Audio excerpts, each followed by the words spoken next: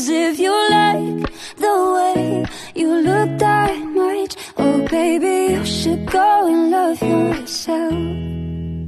And if you think that I'm still holding on to something, you should go.